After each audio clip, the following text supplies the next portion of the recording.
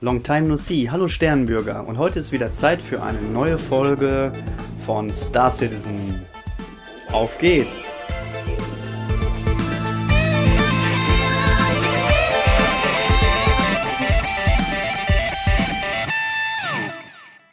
Long time no see. Hallo zurück hier im Hangar. Immer noch Deluxe. Es wurde noch nicht zurückgepatcht auf meinen Standardhangar.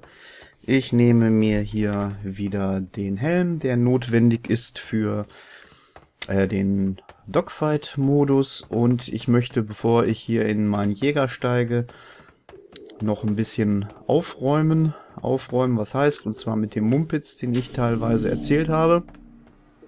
Beziehungsweise können wir hier noch was nachholen.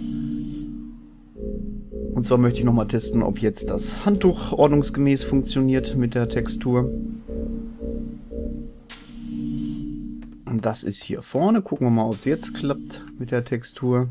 Das saubere Handtuch und jetzt wird es benutzt. Diesmal hat es geklappt mit der Textur und siehe da, ein bisschen schmutzig und mit Wasser dran. Okay, das wollte ich äh, halt noch gezeigt haben. Was haben wir noch, was ich äh, korrigieren möchte? Ja, schade, dass das Laufen hier wieder nicht funktioniert. Äh, und zwar hatte ich ja gesagt, dass der Fahrstuhl dort hinten nicht funktioniert. Tut er aber eigentlich doch. Man muss ihn halt eben nur rufen. Das habe ich halt völlig übersehen. Ist hier schon die Fahrstuhltür? Ja. Ich hatte mich einfach hingestellt und hatte gesagt, ja, funktioniert gar nicht. Natürlich man muss ihn auch erstmal rufen, der ist ja unten. Standardmäßig sind die nämlich unten geparkt.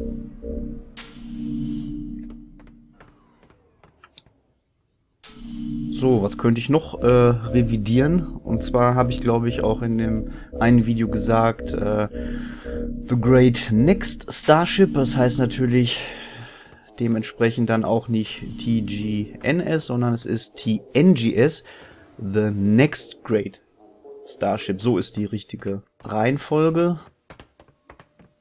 Was war noch, was ich irgendwie fälschlich dargestellt habe? Auf dem Waffenmount am Schießstand, die Waffe habe ich gesagt, das ist keinesfalls die Laserwaffe, die an der 300i ist, aber ich vermute mittlerweile, ich habe mich da vertan, das ist nämlich doch der Laser, der an diesem Kampfjäger angebracht ist. Jo, damit habe ich hier die kleine Rundtour bestritten.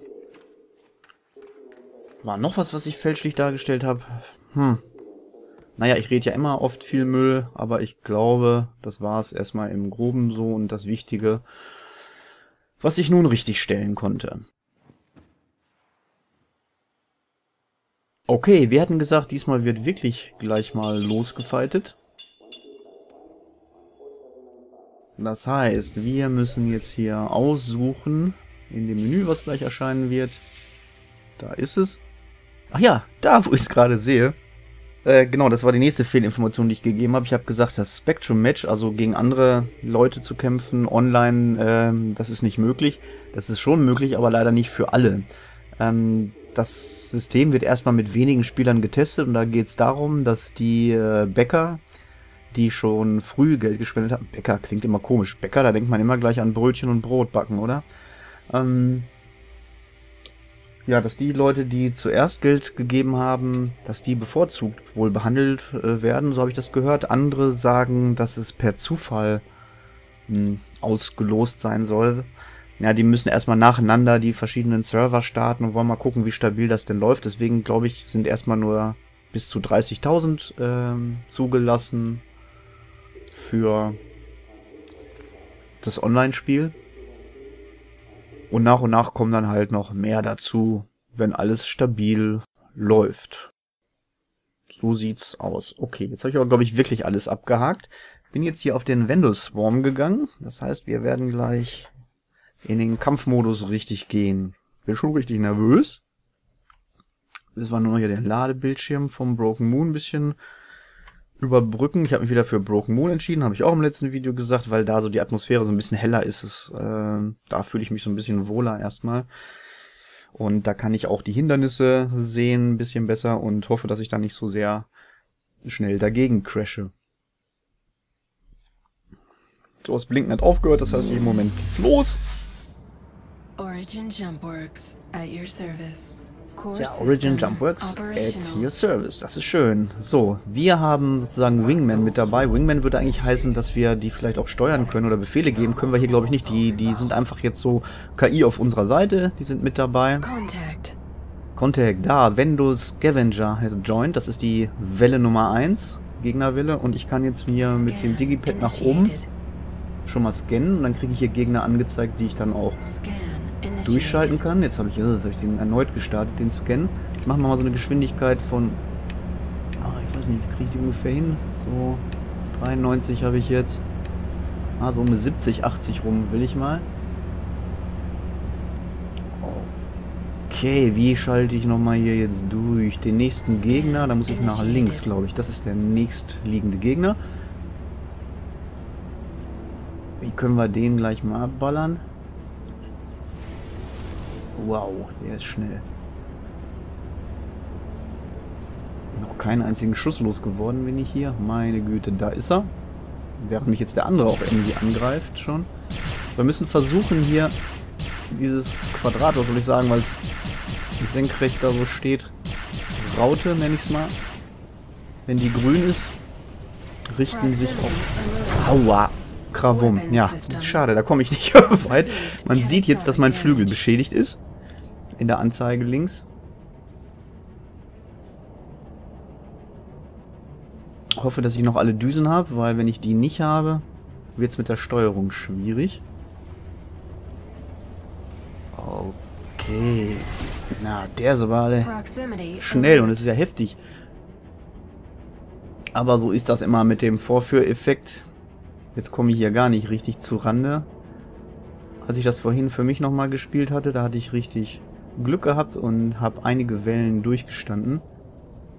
Jetzt finde ich hier noch nicht mal einen Gegner. Ist ja armselig. Dabei zeigt er mir doch ja den Pfeil an, da ne? unten. Da muss er doch jetzt mal irgendwie erscheinen. Da.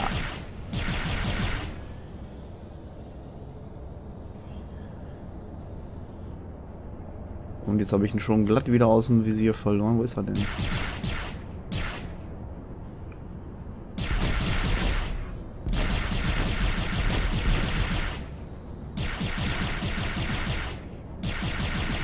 Wenn da gleich mal was aufleuchten sollte, um dieses gegnerische Raumschiff.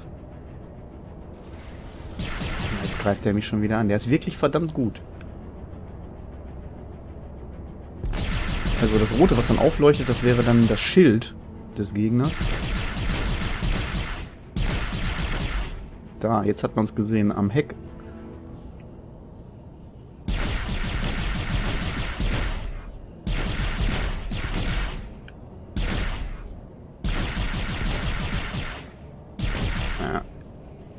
jetzt bin ich ein bisschen an den rechten Stick gekommen. Das heißt, wenn ich hier gleichzeitig... Ja, jetzt meine Shields sind jetzt auch schon nur noch halb stark. Jetzt werden die Shields wieder aufgefrischt. Das heißt, eine Zeit lang ist man dann auch irgendwie recht schutzlos. Passt ja gar nichts hier in meinem Kampfstil.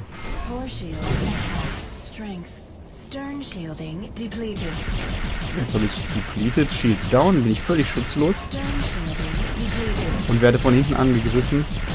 Ich habe noch nicht mal einen einzigen Abschuss. Und bin stark getroffen. Flügel ist schon richtig zerlegt, wie man jetzt sieht in der Anzeige.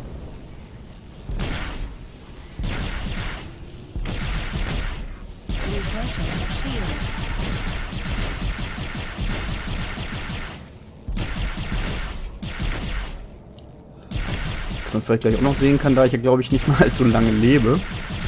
Aber man guckt jetzt hier am Steuerrad, da sind jetzt die Hände des Piloten zu sehen.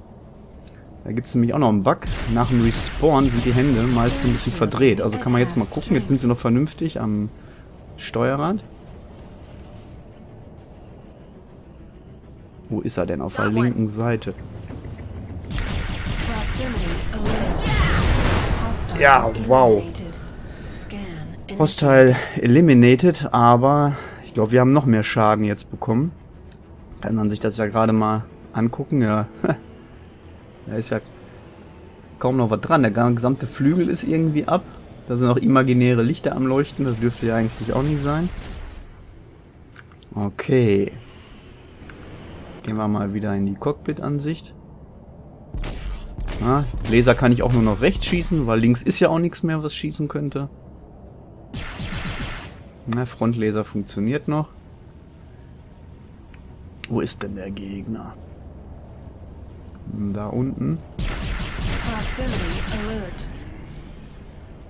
Ja, dann erzählt er mir immer was von Kollisionskurs. Yep, noch einen getroffen. Schön. Zero Hostile Contacts Remaining, also alle abgeschossen. Ah, das sieht doch geil aus. Wollen wir mal an diesem Wrack hier hinterher fliegen, so ein bisschen. So, da kommen jetzt also weitere Gegner rein. Das ist jetzt die Welle 2 und wieder drei Vendel Scavenger. Aber da sehe ich mal meine Chancen nur nicht so sonderlich doll. So, jetzt können wir die einfach mal scannen. Hätten wir einen Gegner. Können wir eigentlich mal den nächsten Gegner nehmen? Das müsste doch der eigentlich sein. Dass wir nicht die Friendly scannen, sondern die Gegner. Ja, hinter dem Trümmerteil ist wohl einer. Jetzt machen wir mal was. Und zwar...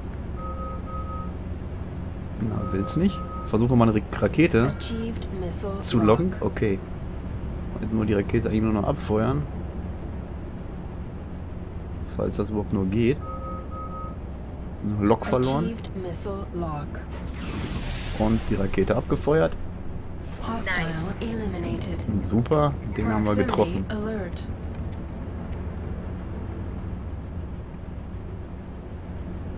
Da ist der nächste. Aber der versteckt sich hier hinter dem Objekt.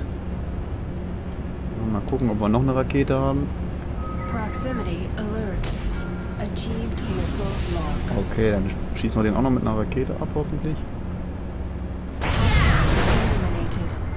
Schade, dass wir die Explosion nicht gesehen haben. erstaunlich, dass man hier trotzdem noch hinkriegt, obwohl man eigentlich nur noch mit einem Wrack, eigentlich mit einem halben Sarg durch die Gegend fliegt. Eigentlich müsste ich warten, bis ja, der grüne Kasten hier auftaucht.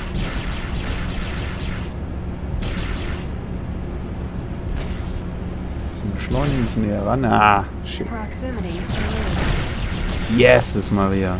Da habe ich aber richtig eine Breitseite abbekommen.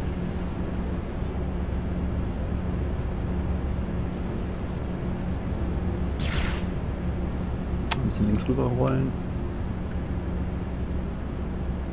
Oh mein Gott, der lässt sich jetzt so schlecht steuern. Dieser Fighter. Proximity alert. Ah. Proximity. Oh Gott, das war Friendly Fire.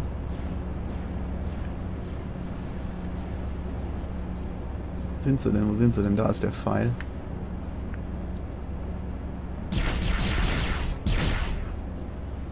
Drauf zu beschleunigen. Ja, was schon ein bisschen komisch ist. Man sieht immer nicht so viel, also man sieht immer nur so kleine Pünktchen. Und äh, schwuppdiwupp kommen die auf einen zugeflogen. Also ich mit kleinen Pünktchen meine ich, also die Raumschiffe sind echt so winzige Objekte. Ich weiß gar nicht, ob ihr das alles so richtig hier erkennen könnt. Und dann ist ja auch der Hintergrund natürlich im Weltraum alles möglich schwarz. Dann diese dunklen Schiffe. Oder vielleicht dann ist man noch geblendet vom Gegenlicht. Und wenn die mal näher kommen oder so, ne, wenn die einen entgegenfliegen, dann geht das so rasend schnell dass man die auch gar nicht erkennt. All Allies lost. Das heißt also, ich habe keine sogenannten Wingmans mehr. Also ich nenne sie jetzt mal Wingman. Und bin jetzt nur noch auf mich alleine gestellt. Was ich auch noch erwähnen kann, ist... Habe ich dort noch Raketen? Nö wenn man jetzt, ich weiß gar nicht genau, aber ich glaube, wenn man die fünfte Welle oder sowas irgendwie oder drei Wellen, ich weiß nicht, jedenfalls eine bestimmte Anzahl von Wellen, so muss ich mich ausdrücken, wenn man die überstanden hat, dann wird einem, glaube ich, auch das Schiff repariert. Meine ich. Falls einem das Schiff nicht repariert wird, auf jeden Fall bekommt man wieder Mitstreiter, also kriegt man wieder so ein paar neue Wingmen. Könnte mir auch vorstellen, dass man auch wieder neue Raketen bekommt. Ja, wo ist er denn da unten? Werden lieber beschossen. Ja, nur noch halbe Schildstärke. Also wenn man hier so getroffen wird, das spürt man noch gar nicht so richtig. Also da fehlt mir noch so ein bisschen was an äh, Animation. Ne, dass es ein bisschen mehr noch flackert und irgendwie ruckelt, damit man dann mehr so einen Eindruck davon hat, dass man auch wirklich getroffen wurde. Bam! Ja, jetzt bin ich natürlich voll mit dem zusammengecrashed. Ähm, meine ich jedenfalls, dass das so war. Oder vielleicht bin ich auch einfach nur abgeschossen worden. Press X to respawn. Ich guck mal gerade auf die Uhr. Naja, Viertelstunde ist schon rum. Das könnte man ja eigentlich auch schon dabei belassen. Wobei ich jetzt irgendwie von meiner Kampfkunst jetzt nicht sonderlich beeindruckt war und auch allzu viele schöne Szenen waren ja auch noch nicht dabei. Was machen wir, was machen wir? Noch ein oder stoppen? Ich bin dafür, die Aufnahme zu stoppen und dann sehen wir uns lieber in einem neuen Take und vielleicht dann auch auf der anderen Karte. So, ich hoffe, ihr hattet ein bisschen Spaß dabei gehabt. Äh, mir hat's auf jeden Fall gefallen. Ich beschüsse mich. Habt eine gute Zeit. Auf bald, euer Paleslay. Ciao.